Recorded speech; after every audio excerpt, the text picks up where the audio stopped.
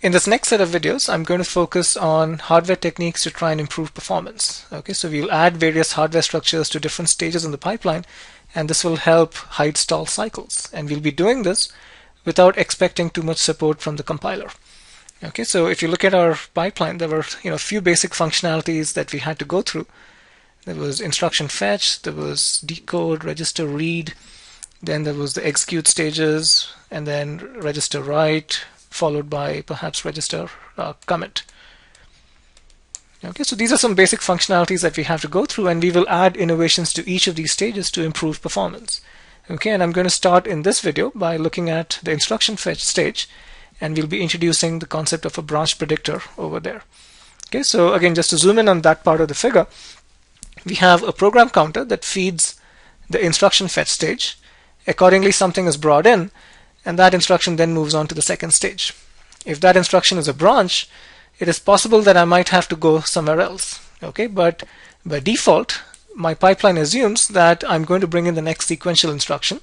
That is, I make the assumption that the branch will not jump anywhere, the branch will not be taken, and so I go ahead and start to fetch PC plus 4, the instruction at the next uh, location. In the meantime, the branch proceeds to the second stage, where it reads registers, you know, does the comparisons that it has to do, and figures out where the branch is actually headed. Okay, and if that branch is, is going to be taken, that is, if I'm jumping to somewhere else apart from PC plus 4, that is known by the end of the second stage, and that then goes back and updates the PC, so that in the third cycle I can start fetching the correct instruction. In the meantime, uh, I have fetched the next sequential instruction in the second cycle, and that has to be squashed. Okay, so in, in our earlier basic uh, basic five stage pipeline, there was a one cycle penalty every time the branch was being taken because I was making the default assumption that I was going to fetch the next sequential instruction. Okay, so now we are going to improve upon this particular black box over here. Instead of just fetching the next sequential instruction, in cycle 2 I'm going to try and fetch an instruction which is more likely to be the branch target. Okay, the, the correct branch target. Okay, so in the second cycle, I want to fetch something that need not necessarily be the next sequential instruction. If this is a branch that tends to be taken, then I want to fetch the instruction that uh, I usually jump to. Okay, so let's see how I would design uh, one such branch predictor. Okay, so here uh, I'm, I'm going to design a particular table over here, which is going to be my branch predictor table. And you know, as I encounter branches, I'm going to record their behavior in this table. Okay, so let's say that I encounter a branch, you know, BR1, and it happens to have a program counter location of PC1. Okay, so I make an entry for branch 1 over here saying this branch is at PC1. The last time I encountered this branch, the branch was not taken, and I put in a 0. So 0 means the branch was not taken, and 1 means that the branch was taken. And if the branch is taken, then where does it jump to? And I'll record that in this table. So maybe the last time I encountered this branch and it was taken, I jump to location PC3. So that's being recorded here as well. Okay, and then when I encounter the next branch, branch 2, I make an entry for it in the table saying this branch is at location PC2. The last time I encountered it, the branch was taken and it jumped to PC4. Okay, so I maintain this table. And now, you know, let's see how this particular table is going to behave when I execute a piece of code. Okay, so let me just clarify that this table is now called a one-bit bimodal predictor. It's called one bit because I'm only maintaining one bit of history. I'm only keeping track of what this branch did the last time I encountered it. It's called bimodal because this predictor is very clear about what it what, what it's predicting. It's either saying taken or not taken. There's no gray area in between, and you know this uh, this gray area will be made more clear when we look at more fancy predictors. But for now, it's a bimodal predictor because it very clearly says if I should be jumping or if I should not. Okay, so now let's take this example code here. This is a while loop that runs for a really long time and then finally it exits the while loop when some condition is met. And inside this while loop there are two for loops, one that runs 10 times and one that runs 20 times. Okay, so at the end of the for loop there is um, you know branch 1 which is perhaps at PC1 and you evaluate the condition and you know 9 out of 10 times the condition says you need to jump up and re-execute the next loop iteration so it jumps up to PC3 and executes. Finally, at the end of the for loop, the branch condition says, I think I'm done. the final branch will not be taken and you exit and get out.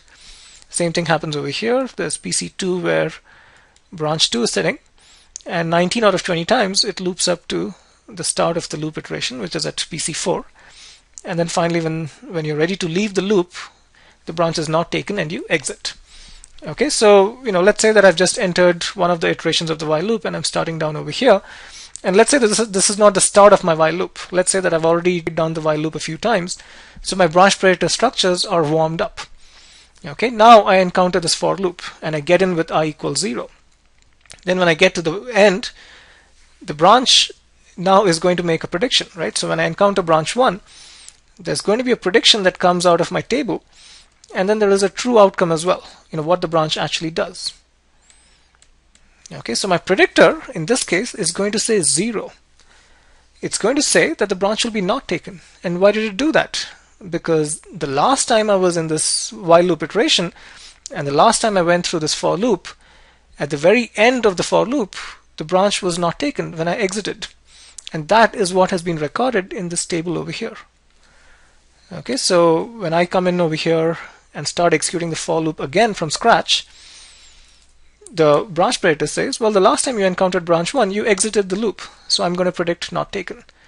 But in reality, you know, i is 0 or 1, and so uh, you actually need to jump back up, right? So in reality, what you do is the branch is taken and you jump up to PC3. Okay, so this is an example where the predictor is wrong. Okay, but now having made this wrong prediction, the branch predictor says, well, you know, let me learn from this behavior what I have just done is the branch has been taken. So let me make that my new prediction. So the 0 gets changed to a 1. Okay, so now when I come through the loop again with the next iteration, the predictor says that I think you're going to be taken because that's what you did last time. And this time it is going to be correct because you are going to jump back up. So this prediction is correct. And then this happens seven more times where the predictions are all correctly taken. And then finally, when it's time to exit the loop, the predictor again thinks you're going to do the same thing as the ninth iteration. So it says, well, I think you should be taken. But in reality, the branch condition is evaluated and you realize that i is now 10, time to leave the loop.